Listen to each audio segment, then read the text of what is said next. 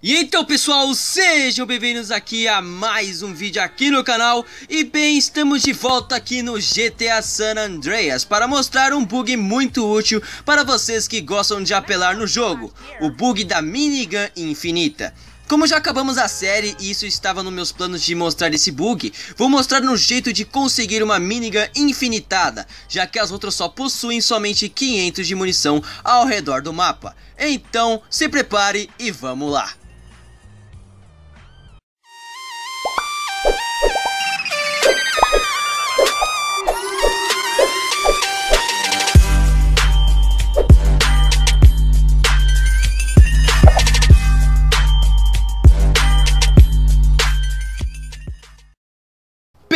gente conseguir executar esse bug devemos estar na cidade de Las Venturas, pois o bug só vai funcionar aqui e executando a missão para o alto e avante, que acontece entre as 8 horas da noite e 6 horas da manhã com o número 82 do modo história do game.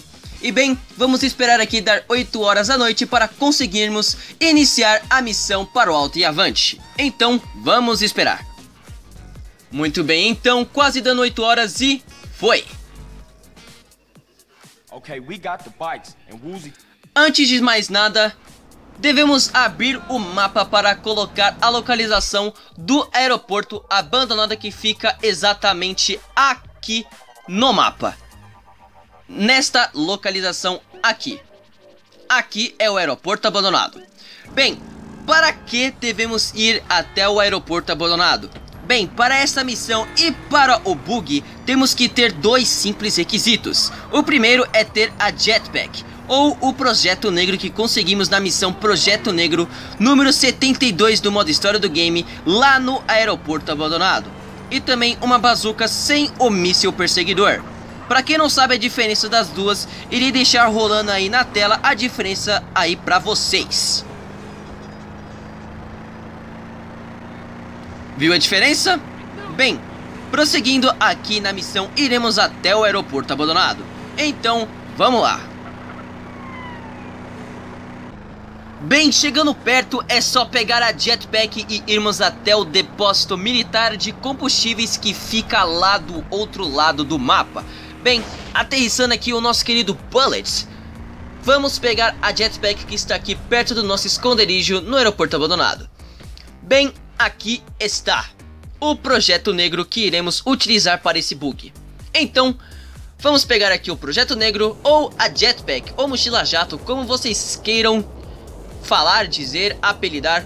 Vamos até o depósito de combustíveis militares ou militar de combustíveis lá do outro lado do mapa. Então, vamos lá.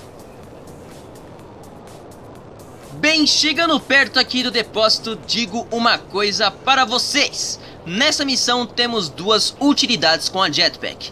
A primeira aqui do início é voar por trás do depósito, pois se formos pela frente, a gente deveria passar pelo portão depois que aquele Patriot passasse, enfrentar os guardas da entrada, passar por uma área cheia de soldados equipados com M4s, dar a volta pelo terreno e subir em direção ao helicóptero.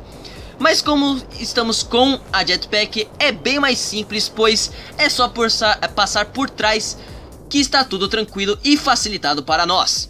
Então vamos fazer o seguinte, vamos passar, sobreviver por essa coisa aqui, pegar a sniper e eliminar os soldados que estão equipados com M4s. Bem, executamos um que estão perto da minigun, outros perto que estão aqui do helicóptero, mirar direitinho, né? E depois voltar para a jetpack e ir por esse outro negocinho aqui, essa outra plataforma.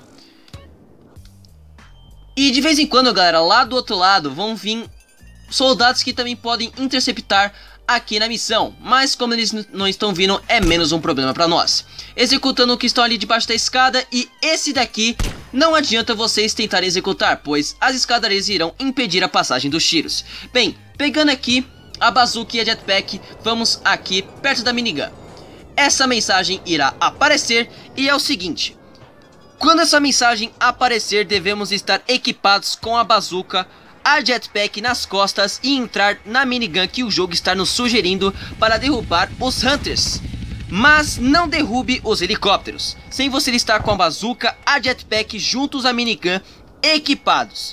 Bem, entrando aqui, vamos esperar mais um pouco com tudo equipado, a bazuca, a jetpack entrando tudo junto na minigun. Esperamos um pouco e voilá! Estamos com uma minigun infinitada. Vamos só matar esse retardado que está nos in incomodando. E agora é o seguinte, é só derrubar esses dois Hunters que estão nos atrapalhando. Derruba um. Falta mais outro. Falta mais esse daqui. E agora já era, já está explodido, já está finalizado este helicóptero. Os helicópteros foram destruídos, volte para o seu helicóptero e saia daqui. Bem, vamos pegar aqui a jetpack e detalhe galera, não adianta vocês tentarem pegar esse helicóptero sem vocês uh, executarem os dois Hunters que estão vindo para interceptá-los, pois o helicóptero estará trancado, então não adianta nada. Então, é o seguinte, vamos explicar só mais uma, um detalhe dessa parte do bug. Vocês estão vendo é, esta mensagem aqui, ó. Bem, esta mensagem aqui é o seguinte que vou explicar para vocês novamente. Quando essa mensagem aparecer na tela, devemos estar equipados com a bazuca, a jetpack nas costas e entrar na minigun que o jogo está nos sugerindo. Não é para derrubar os helicópteros, sem você estar com a bazuca, a jetpack junto à minigun equipados, pois senão o bug vai estar totalmente mal feito e não vai dar para executá-lo. Mas como já conseguimos executar, é só dar continuidade à missão e terminar aqui a missão para que no fim das contas a gente tenha uma minigun infinitada depois de encerrarmos esta missão. Então, vamos lá encerrar a missão e simplesmente ter a minigun em nossas mãos. Então vamos lá.